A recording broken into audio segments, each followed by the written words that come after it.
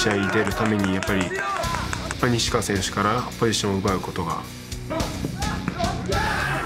まあ、プロになって初めてって言っていいぐらいこういい緊張感の中で、まあ、この年になってもお互いにこう刺激をもらいながらっていうか。